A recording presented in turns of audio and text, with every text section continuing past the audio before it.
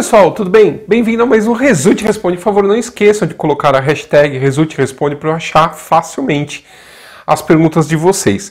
Eu estou em dívida, porque assim, são muitas perguntas e uh, eu não dou conta de tudo, tá? Então, vocês, por favor, tenham paciência. E tem coisas muito legais que eu estou segurando para fazer vídeo, tá? Então tem algumas perguntas que não estão sendo respondidas também por isso porque dá vídeo maior do que assim, apenas são mais interessantes do que responder só aqui rapidinho.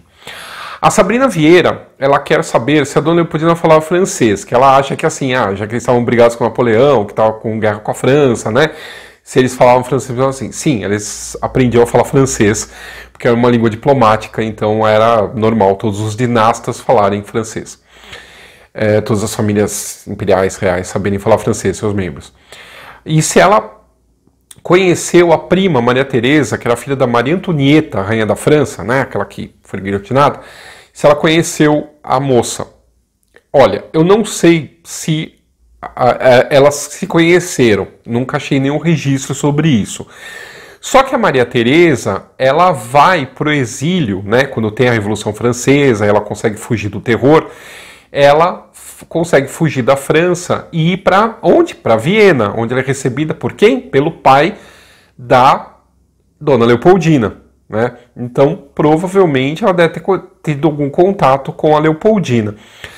Só que aí tem uma curiosidade. A Maria Teresa, ela casa com o Duque d'Angolene. O Duque d'Angolene, ele era filho do futuro Carlos X da França. E o que, que acontece? Quando eles conseguem voltar para a França, o Carlos X assume o trono e tal, ela cria uma manufatura, uma fábrica de porcelanas, que fica conhecido como a manufatura da Duquesa d'Angolena. E a Leopoldina, ela traz para o Brasil um aparelho de porcelanas dessa manufatura, dessa prima dela. Então, é, é muito, muita coincidência, né? Luiz Frederico Horácio ele quer saber quais são os vocativos de pronome de tratamento usuais dirigidos ao imperador e aos príncipes. Em alguns momentos vemos no filme chamá-los de majestade e alteza, ele está se referindo ao independência ou morte. Em outros momentos, excelência ou senhor. Bom, é... depois que você se... Bom, primeiro, vamos lá. É, tem o su e vossa, né? Aí é, é você usa isso muda, Vossa Excelência, Sua Excelência, de acordo se você está falando com ele diretamente, né, com a pessoa diretamente, ou sobre a pessoa. Isso à parte, você vem com é, majestade imperial ou real, no caso de um rei ou do imperador. No caso de príncipes, é uh, alteza imperial ou alteza real, tá? No caso de príncipes de sangue é, da, da, casa dinástica, da, da, do primeiro escalão, vamos, vamos dizer assim. Então é um príncipe imperial, um príncipe real. Uh, isso, a partir do momento que você chamou a primeira vez, você pode alterar as outras formas. Então, você também, depois que você fez esse primeiro tratamento, você pode usar senhor também na mesma frase, na mesma conversa. Você vai ficar toda hora chamando de Vossa Majestade, Sua Majestade, etc. Tá? Você pode, mas geralmente é alterado para senhor. Quem vai usar isso hoje em dia, né? Só em reconstituição. Pedro Mendes, ou se vai tomar um chá com a rainha da Silvia da Suécia, né? A gente tem amigos que fazem isso. Pedro, brincadeira.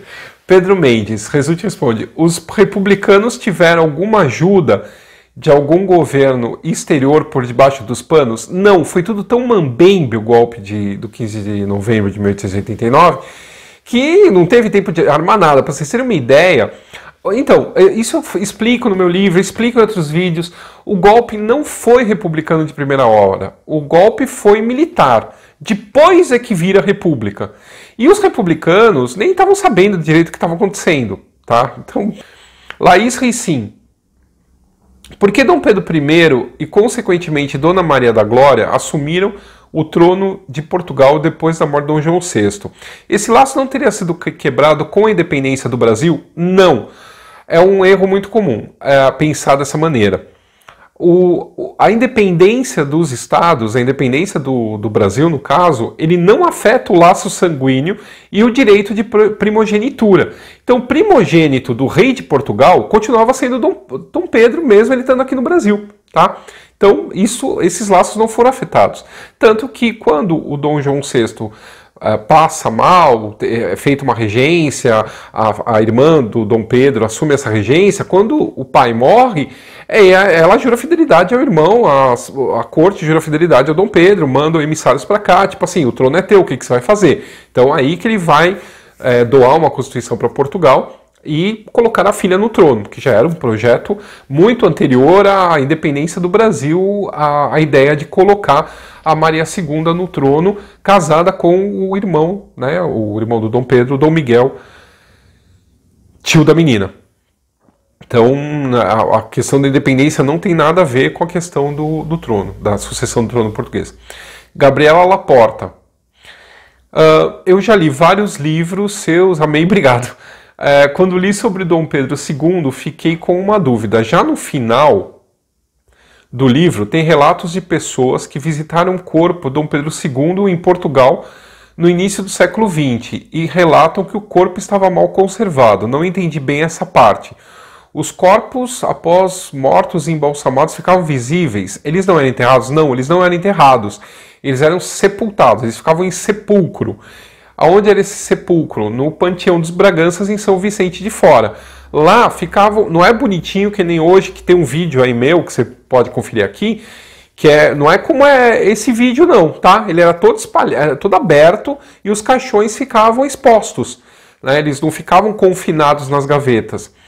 Então as pessoas podiam ver os caixões. No caso do caixão do Dom Pedro II, esse caixão tinha um vidro em cima, então você conseguia ver o cadáver embalsamado. Né? O Júlio César Bonfim. Paulo, lendo o seu livro sobre Dona Leopoldina História Não Contada, percebi que nos últimos uh, capítulos do livro conta um pouco da raiva da Maria da Glória pela Marquesa de Santos e sua filha Isabel Maria. Uh, o que eu queria saber era se Dona Maria II chegou a enfrentar Domitila alguma vez. queria saber também a relação da Leopoldina ao saber que o Dom Pedro bateu na Paula Mariana. Bom, aqui, o que, que ele está falando aqui? Quando o Dom Pedro pega a duquesinha de Goiás para educar no palácio, para morar com os outros irmãos, a, a menina tem uma briguinha lá, coisa de criança, com uma outra irmã, no caso da Paula Mariana. Então a, a Duquesa de Goiás e a Paula Mariana tem uma discussão e aí a Paula Mariana acaba brigando, chorando e aí a, a, a Maria II de Portugal vai intervir lá na briga das irmãs e vai se pôr contra a Duquesa de Goiás. Então aí já começa uma rixa, né? Claro, né? A menina já estava grande, ela já estava entendendo o que estava rolando lá, né? Da, dessa questão da, da filha bastarda, do pai, né? Bem complicado.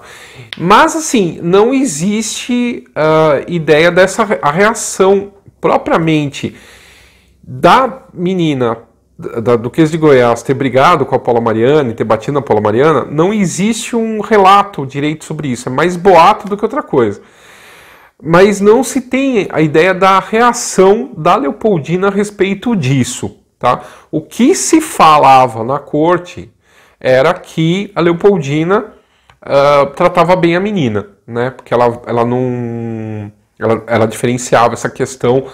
A menina não tinha culpa né, da falta do pai e da mãe, né, do Dom Pedro I e da Marquesa de Santos em relação à menina. Então ela não, ela não despejava a culpa do, do relacionamento dos pais dela na menina, né, dos pais da menina nela. Então vocês entenderam, né? Tá, ficou meio enrolado, mas enfim, é pai dela, dele e tal. Pedro Silva. Uh, excelente seu vídeo, como todo seu fã, tem uma dúvida técnica de fontes monarquistas que pode ser verdade e uma realidade nos dias de hoje. Nos tempos do nosso último imperador, houve um cabo submarino de comunicações para telégrafos, etc. Sim, houve. Esse cabo submarino, ele vai ser inaugurado, ele vai começar a ser estudado em 72, em 73 começa a ser trabalhado, em 74 ele é inaugurado. Então, em 1874, o Dom Pedro II, ele telegrafa para o sobrinho dele, o rei Dom Luís I, em Portugal, telegrafa para a Rainha Vitória, para o Kaiser na Alemanha, para várias personalidades, para o Papa no Vaticano, para falar: olha, aqui o Brasil já está, Rio de Janeiro já está conectado com o mundo. Né? Então, desde 1874 havia o telégrafo submarino ligando o Rio de Janeiro às grandes capitais europeias. Samuel Alves, na aula de história online que eu acompanho, nas aulas de MG, a professora disse que Dom Pedro II era maçom. Isso é verdade? Não, não é verdade. Dom Pedro II, ao contrário do pai, o Dom Pedro I, esse sim, maçom, nunca foi da maçonaria. Ele era liberal. Tem muita gente que acha que é liberal assim nos pensamentos, tá? Ele achava que cada um tinha que ser o que quisesse e tal, e que ele não, não, não podia determinar o que cada um podia ser ou não. Então, o que que acontece? Tem muito, o, o Dom Pedro I, a, a, a independência do Brasil nasce primeiro na, dentro da maçonaria, juntamente dentro da igreja, né? Tá, tanto, são, é, a igreja católica é a maçonaria que começa a bolar a ideia da, da, nossa independência. Então, assim, o Dom Pedro I, ele é colocado dentro da maçonaria, o nome dele vai ser Irmão Guatimozin, no, na biografia que eu fiz sobre ele, eu falo a respeito disso, eu trago inclusive as cartas que ele trocava, que tinha um modelo de triângulo tal, com os irmãos maçons dele. Depois ele vai fechar a maçonaria e tal, mas, por exemplo, o título Defensor Perpétuo do Brasil, ele ganha dentro da maçonaria brasileira, tá? Dia 13 de maio de 1822. 13 de maio, né? 13 de maio é um. Tem um, um vídeo só falando sobre o, o mistério do 13 de maio na, na história do Brasil. Então, ele ganha esse título dentro da maçonaria, ele era maçom, isso, ponto.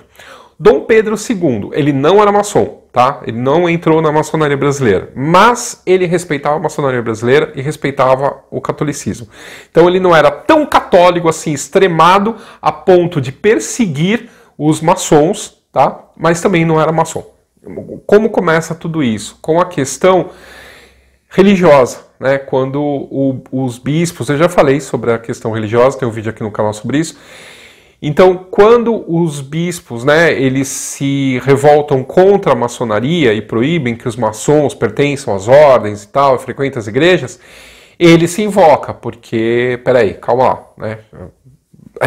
tem, tem essa bula papal, realmente existe, mas eu não autorizei a ser é, praticada dessa forma aqui no Brasil, né? Porque ele tinha o padroado brasileiro, ele tinha, ele determinava o que que devia ser ou não uh, atendido das bulas papais. Então ele não tinha aprovado essa bula papal que perseguia a maçonaria dentro da igreja no Brasil. Então ele achava que era uma usurpação do seu direito como imperador que a igreja praticasse isso revelia dele ter concordado ou não com a ordem do Papa. Só que, só disso acontecer, dele, dele ir atrás dos, dos religiosos, fazer eles é, serem presos e condenados e tudo mais, por eles estarem tirando o poder do imperador, a, é considerado que ele era maçom, mas ele não era maçom, tá? Ele, o Dom Pedro II nunca foi maçom, tá bom? Um abraço, até o próximo vídeo.